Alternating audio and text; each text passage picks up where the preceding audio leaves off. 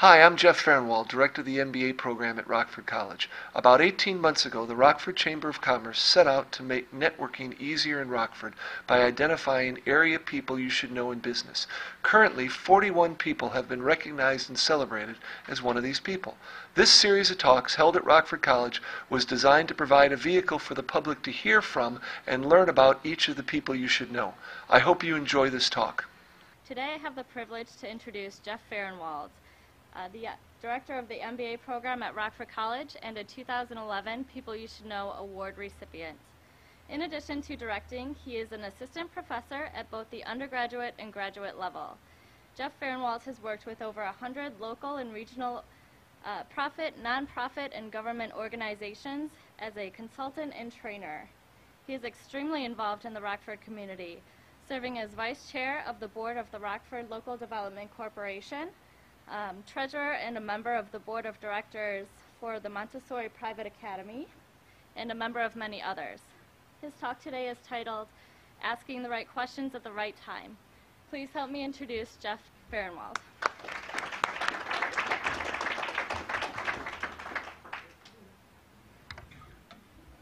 Wow, nice crowd. Um, thank you all for coming today. I hope uh, I hope the talk is uh, is worth your time. When uh, I, I got to tell you, it's been very difficult to think about what to to say with these talks. There's, um, um, come on front. Yep. As Lauren mentioned, I've worked with a lot of different organizations and a lot of different in, in a lot of different roles.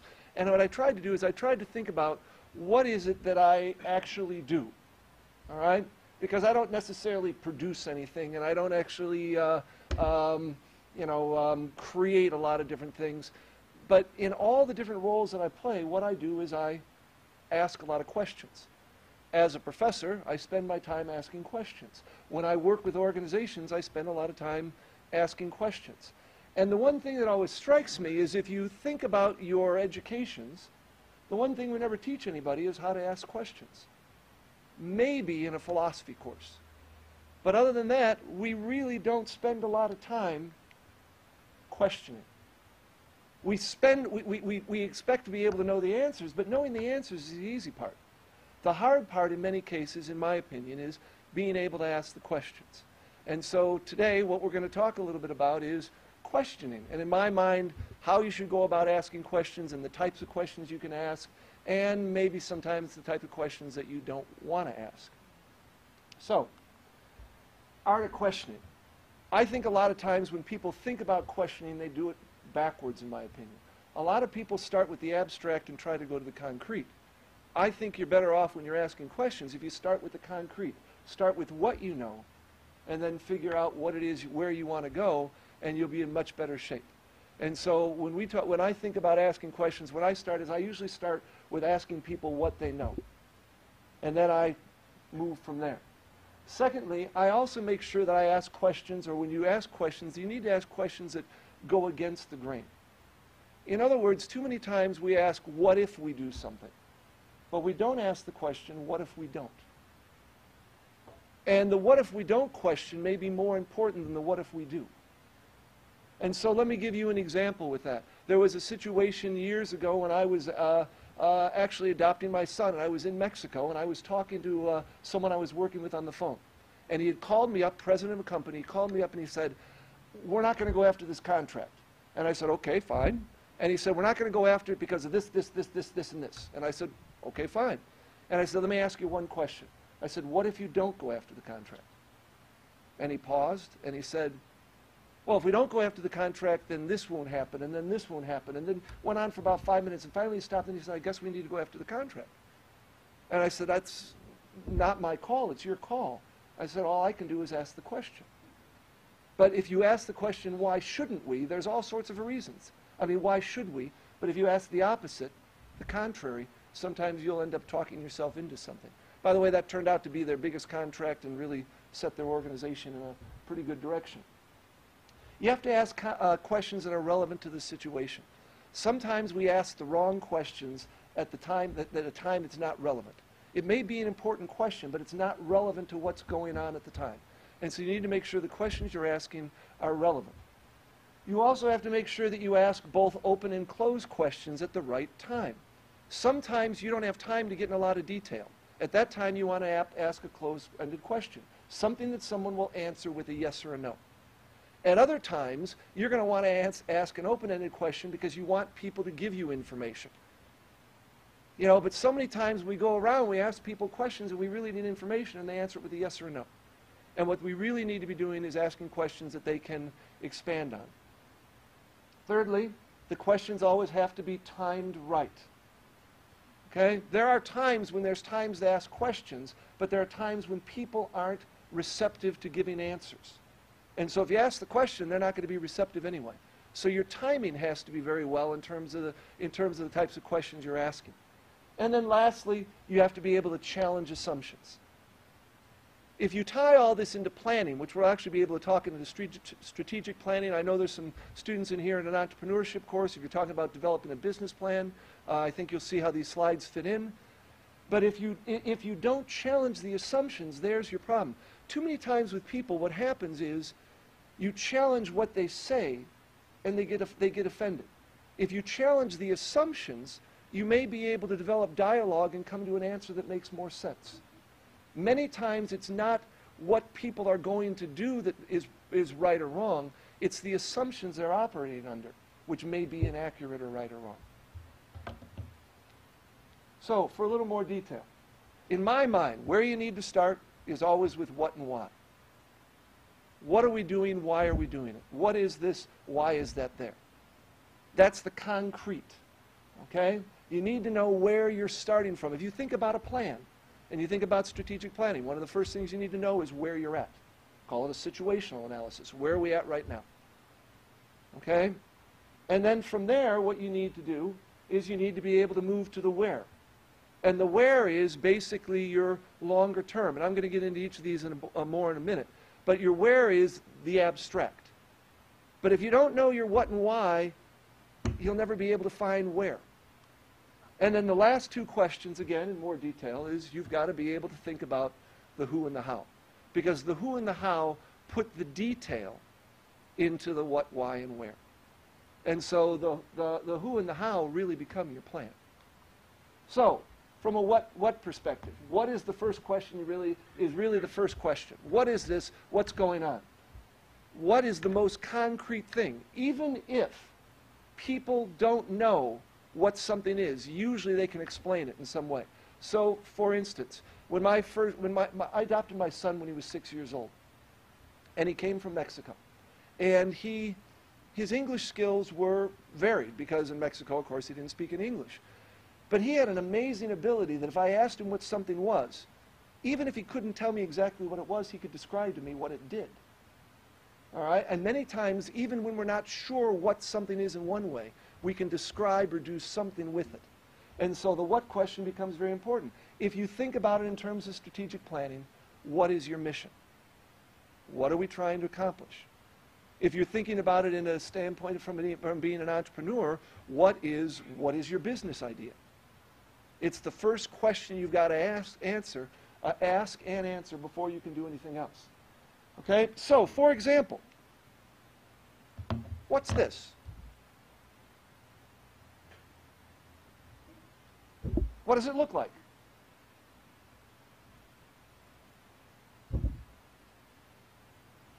Looks like something off a machine. What else?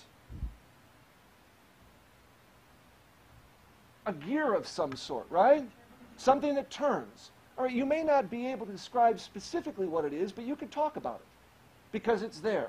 I, what I did, how I found this, was I actually Googled thingamabob. and this came up. All right? But what it is really, I also found out it's a piece off a snowmobile. Okay? Which makes sense once you see that in more detail. But you can, the what question is something you can, you can define pretty clearly, even if you don't know what something is.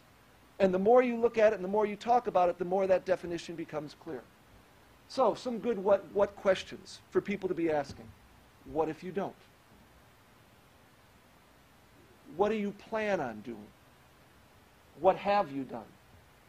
What do you want? What results do you expect? Usually when I start working with an organization or someone says they want me to do training or whatever, the first thing I ask is, what do you want? What do you want me to do? You know, what are you expecting to have happen because of this?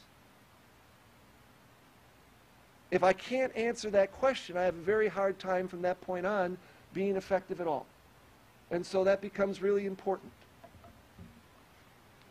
Secondly, why? I think that's the second question you have to ask yourself, and you have to ask other people. It's mostly used in combination for what? With what? What did we do and why are we doing it? Um, it helps you define your concrete answer because it explains the purpose behind the what. And if there's not a purpose behind the what, then it's probably not going to drive someone to want to do it. And sooner or later, you're going to have to get people involved, and they're going to want to know the why. Okay? I'll never forget a lesson uh, um, that I learned uh, uh, with one of my current coworkers. One of the first days I was working with her, um, I went in and I said to her, I need you to do this for me. I explained what I needed to do. And she looked at me and she said, we're going to get along much better if you explain why we do something in, in, in, in, instead of just telling me what. Because I need to know why. All right? I think most people need to know why. And so we forget that sometimes. We get so busy in the what and then we move to the where that we don't do the why. And we need to make sure that we explain to people the why as we go. So again, if you tie this into other sorts of things, let's say Six Sigma, one of the things they always talk about in Six Sigma, one of the talent, one of the tools they use in order to get an answer, to dive down to get an answer, is they call it the five whys. You ask why and you get an answer. You ask why again and you get an answer. And by the fifth time, by the final fifth why, you're probably going to have something that's pretty concrete. Okay? That's going to help you define the what more. Too many times we ask why once and we're satisfied with the first what. But if we asked in more detail, we'd actually start uh, understanding more about what it is that we're trying to accomplish. So after that, then we have to move to the where. Okay? Where is the most abstract? I think where is the most difficult. You know, as I growing up, people always say, where do you want to be when you grow up? Well, I still haven't grown up yet, so I haven't figured out where I want to be. You know, and that's always the hard question to ask. But it is the vision. If you tie it back to planning, it's the vision. It's the where are we going, where, where is it that we really see ourselves. Okay? It needs to be connected to a what and a why. Because a vision is just a dream if it's not tied to something. And so it has to be tied back on the other end. I think it's the most difficult to answer in most questions, in most cases. And it's also, in my opinion, always ends up being life's biggest questions. So for example, how many of you ever seen a shoe on the side of the road or in the middle of the road? All right? Where does that come from? All right? How do you get one shoe in the middle of the road and where's the other shoe? Where's the person walking around in one shoe? Okay? It's almost an unanswerable question. You never see two, you see one. Another one. This just happened to me this weekend. I did laundry. I put two socks in the washer. I swear I put them in the dryer. One came out. Where did the other sock go? It's one of those questions again that you just don't know how to answer. Okay?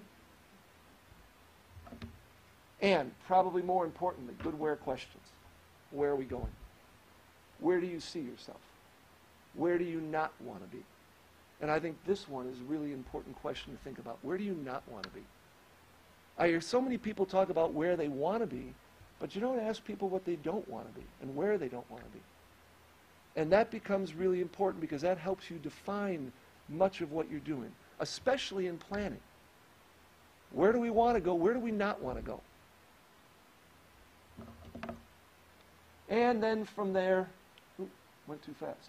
The thing is, the problem is, is wheres may lead to more whats and whys. Because where you want to go this way, then you may have to say, well, why do we want to do this and what are we trying to do again? And so it becomes very circular in terms of, in terms of what you're doing. Then the how and the who. The how and the who help you see multiple paths. As you start saying, how could we do this? You could do it this way, this way, this way, or this way. There's many different hows out there. And so now you get to open up your, uh, open up your vision again and see many different paths. Okay?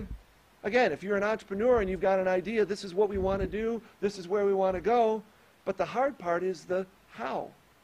How are we going to get there? The how question is also probably the most, uh, the how and the where, uh, the, the, the, the who and the how are also the ones that become the most personal. Because if you're delegating or working with people along the way, those are the ones that, that people are, that, that all of a sudden turns into people's jobs. Who's going to do it? How are they going to get it done? So it is your plan. And if you think about developing a strategic plan, developing a business plan, developing a project plan, whatever, that's where you're at. It's the how and the who. And so, examples of some how who questions that go together. Who wants this? How will we meet their needs?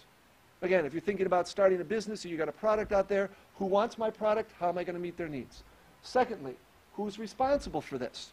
So if you've got something done, you ever go to meetings and everybody walks out of the meeting, you go back to the next meeting and no one, and everybody thinks someone else is supposed to do something? Because no one really answered the who's going to be responsible question? For many people, the most important question, how much will it cost? Right? I see people every day who want to come and take the MBA program. Sooner or later down the line, they're going to ask me, how much is this going to cost? All right? Because they want to know what they're, what, what they're going to have to invest in order to get a certain type of return. And then lastly, who else could do this and how are we better? This is really your marketing in some respects in a, in a nutshell.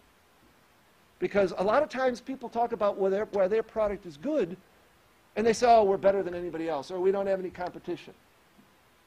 And I always kind of wonder about that because if someone else is in business, then guess what? They must be good at it somehow. And you better be able to answer the question, how are we better? Because that's going to be extremely important for you. All right, so I think as I think great leaders really do ask great questions. I think it's one of the talents that people have a lot of times to be able to sit down and to be able to cut through everything and ask really good questions. And again, I think that they need to be well timed. You know, there are some people who sit at a meeting and they're, they're wonderful to watch. They'll be at a meeting for a half hour, never say a word. And then all of a sudden they'll ask that perfect question at the right time that brings everything into focus and that really moves, that, uh, moves the meaning of the organization forward. Secondly, you need to be able to force people to think, even if they don't want to. And questioning forces people to think. I always tell my students in my classes, you all should ask each other questions because if you don't, I will. And my questions will probably be harder. All right? But I want the students to ask questions because that's what's going to be important. You can always hire someone to answer the question. What you want to do is get someone to ask the questions. And lastly, you need to be able to create a framework with those questions. If the questions are all over the place and they aren't focused, then there's not a framework. You need to empower other people to find the answers. When we started, when we start, first started thought, thought about thinking about doing these talks, I asked the question, I, thought this would be good. What? We should do these talks. Okay?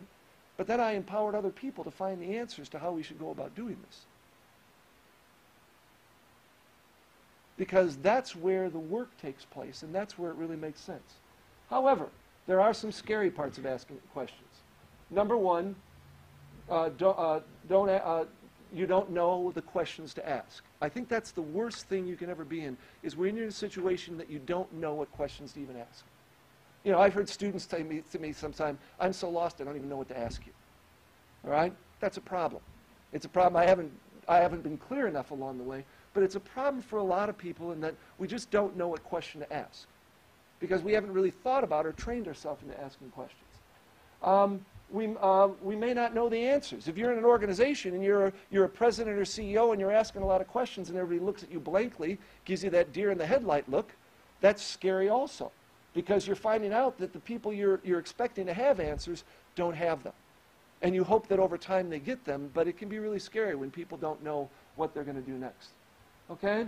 The questions may lead to more questions. In many cases, you ask a question, what it's going to lead to is another question. Again, those five whys. And so some people don't like to ask a question because all they really want is an answer.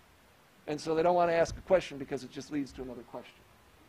Sometimes it's easier to know, it, it, it's easier to, uh, to know, uh, to not know what you don't know. Okay? Anybody who's ever raised children, you don't want to ask kids questions sometimes because they'll tell you stuff you really don't want to know. Those of you who are students in here, you know there's things you wouldn't want your parents to ask you, right? And that you wouldn't want to share with them. Okay? Sometimes there are things that it's better left unknown. Okay? Um, others may not like being asked questions. All right? I know of another person, I helped him with his business plan, and he started his, uh, he started his business, runs a successful restaurant in town. He'd come to me with his business plan, and I'd come back to him with all sorts of questions, and he'd hate me for it. I mean, he would really be angry. But that was what he wanted me to do, was to ask all the questions that he didn't have answered, because if he was going to go into business, he needed to have those answers. And I think a lot of times, though, that people really do get bothered by, those, by, by asking those questions. And then lastly, you may not always like the answers you get. If you ask a question, someone may give you an answer, and you may not like the answer you get. I'm always amazed that businesses will go out and they'll survey their customers and they'll survey their employees, and then they get answers and they're not happy with them. Well, then why'd you ask? All right? If you don't want to know, don't ask. Okay? So again, if you don't want to know, don't ask. You have to be sincere in your desire to know. You should, you should avoid, though, fishing for compliments in the sorts of things you do. So, for example, and I need to explain this a little bit. When I was working in industry 10 or 15 years ago, we set a challenge up for our employees at the company. And we said, if you can raise $20,000 for United Way, which was a good sum of money for that company, we'll take on whatever challenges you want us as senior managers to do. This was the result. and I asked people all day how I looked. I asked people to take me to lunch. No one would do it. All right? Don't ask if you want, don't want. I really thought I looked good. Um, the challenge was that I, that I had to dress up like Pamela Anderson, sit at the front desk, this is as close as I could get, and greet all the customers' employees all day. But for $20,000 for United Way, it seemed like a pretty good deal. But I don't know, I thought I was hot. Um, so, in conclusion, the right questions at the wrong time are the wrong questions. Uh, uh, the, the right questions at the wrong time are the wrong questions. Too many times we ask a question, but it's just not at the right time. Someone isn't ready to do it, they're rushed, there's other things going on. It's the wrong question. The wrong question at the right time just leads to confusion. If you're asking a question and people need to uh, ask the questions, but you ask questions in a totally different direction, it can really just confuse things and mess things up. The right question at the right time takes a lot of thought. It's not something that all of a sudden you're going to be able to do. You need to really think about what you're doing. And you need to be re- you need to engage your mind before you engage your mouth. And the right questions at the right time can lead to dialogue and answers. And if you're leading an organization, you're working in an organization, what most organizations lead need are dialogue and answers. And the right questions can help you do that. Any questions? Yes.